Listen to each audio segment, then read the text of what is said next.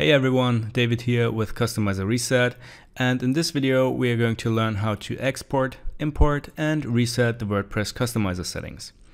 So let's jump into the dashboard and add a new plugin. Let's search for Customizer Reset. And the plugin that we are going to install is this one, Customizer Reset, Export and Import. Click Install now.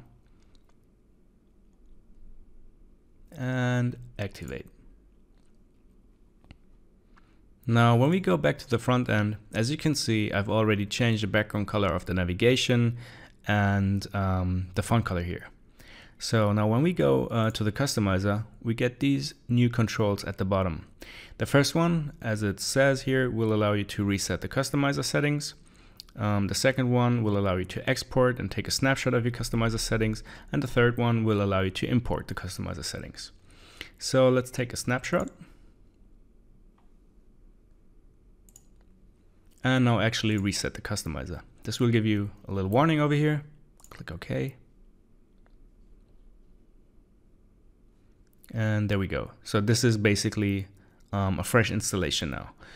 This is useful um, if you don't want to, basically if you want to start fresh so you don't have to undo each setting individually.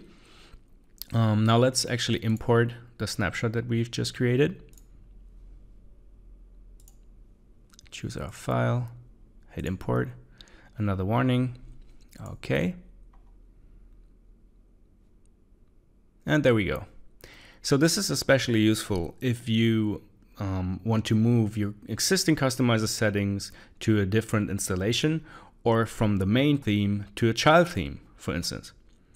And yeah, that is already it. Um, one thing I wanted to highlight real quick is this one here on the side. You may wonder what that is. And this is a new plugin that we've created. It is called WP Swift Control, and it will allow you to basically quickly access the key areas of your website for instance, WordPress customizer, edit the current page, dashboard, and so on. But I will have a separate video on this very soon. Um, yeah, thanks for watching. If you have any questions, let me know down below in the comments and see you soon.